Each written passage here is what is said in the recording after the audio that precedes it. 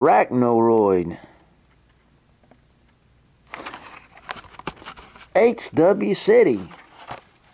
Man, this has got some a retro orange, kind of an apricot orange. On this color, uh, car, it has a light green base. Well, wowzers, dude. This car's